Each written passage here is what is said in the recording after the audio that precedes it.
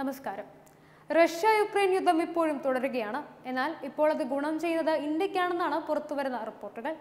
American എതിർപ്പും മറികടന്ന് India കിട്ടിയ അവസരത്തിൽ കുറഞ്ഞ തുക മുടക്കി ക്രൂഡ് ഓയിൽ വ്യാപകമായി വാങ്ങിക്കൂട്ടുകയാണ്. ഇന്ത്യയ്ക്ക് വേണ്ടി ഇനിയും കൂടുതൽ ക്രൂഡ് ഓയിൽ നൽകാൻ തയ്യാറാണെന്നാണ് റഷ്യയുടെ നിലപാടും. ഇപ്പോൾ നൽകുന്നതിനേക്കാൾ വിലക്കുറവിൽ ക്രൂഡ് ഓയിൽ നൽകാൻ തയ്യാറാണെന്ന് വ്യക്തമാക്കി റഷ്യ വീണ്ടും ഇന്ത്യയെ സമീപിച്ചു. വിലപരിധി നിശ്ചയിക്കുന്നതിന് പിന്തുണ ആവശ്യപ്പെട്ട് ജി സെവൻ രാജ്യങ്ങൾ ഇന്ത്യയെ സമീപിച്ചതിന് പിന്നാലെയാണ് റഷ്യയുടെ നീക്കം. ലോകത്തെ മൂന്നാമത്തെ വലിയ എണ്ണ ഇറക്കുമതി രാജ്യമായി ഇന്ത്യയെ ഒപ്പം നിർത്തുകയെന്നത് ജി സെവൻ രാജ്യങ്ങൾക്ക് നിർണായകമാണ്. വിശദമായ ചർച്ചയ്ക്ക് ശേഷം ഇക്കാര്യത്തിൽ തീരുമാനം അറിയിക്കാമെന്നാണ് ഇന്ത്യ റഷ്യയെ അറിയിച്ചിരിക്കുന്നത്.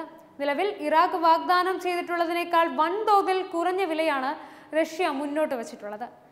രാജ്യത്തെ ശരാശരി ഇറക്കുമതി ചെലവായ ബാരലിന് നൂറ്റിപ്പത്ത് ഡോളറിൽ നിന്ന് പതിനാറ് ഡോളർ കിഴിവിലാണ് മെയ് മാസത്തിൽ റഷ്യ ഇന്ത്യയ്ക്ക് ക്രൂഡ് ഓയിൽ നൽകിയത്.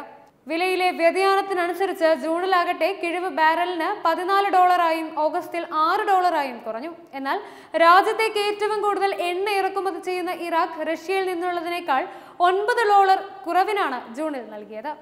ഇതേ തുടർന്ന് ഇറാഖിൽ നിന്നുള്ള എണ്ണ ഇറക്കുമതിയിൽ വൻതോതിൽ വർധനവുണ്ടായി. ഇതോടെ ഇന്ത്യയിലേക്ക് എണ്ണ ഇറക്കുമതി ചെയ്യുന്ന രാജ്യങ്ങളിൽ റഷ്യയുടെ സ്ഥാനം മൂന്നാമതാവുകയും ചെയ്തു. രാജ്യത്തെ ആവശ്യത്തിനുള്ള അസംസ്കൃത എണ്ണയുടെ ഇരുപത് പോയിന്റ് ആറ് ശതമാനവും ഇറക്കുമതി ഇതോടെ ഇറാഖിൽ നിന്നായി. സൗദി അറേബ്യയിൽ നിന്ന് ഇരുപത് പോയിന്റ് എട്ട് ശതമാനവും റഷ്യയിൽ നിന്ന് പതിനെട്ട് പോയിന്റ് രണ്ട് ശതമാനവുമാണ് ഇന്ത്യയുടെ ഇറക്കുമതി.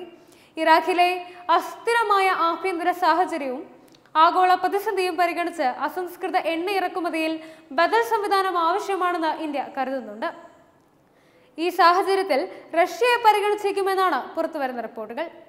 റഷ്യ യുക്രൈൻ സംഘർഷത്തിന് മുമ്പ് രാജ്യത്തേക്കുള്ള ക്രൂഡ് ഓയിൽ ഇറക്കുമതിയുടെ ഒരു ശതമാനത്തിൽ താഴെയായിരുന്നു റഷ്യയുടെ വിഹിതം. ഏപ്രിലിൽ എട്ട് ശതമാനമായും മെയ്യിൽ പതിനാല് ശതമാനമായും ജൂണിൽ പതിനെട്ട് ശതമാനമായും ഇത് ഉയർന്നു. അതേസമയം ജൂലൈയിൽ വിഹിതത്തിൽ കുറവുണ്ടായി.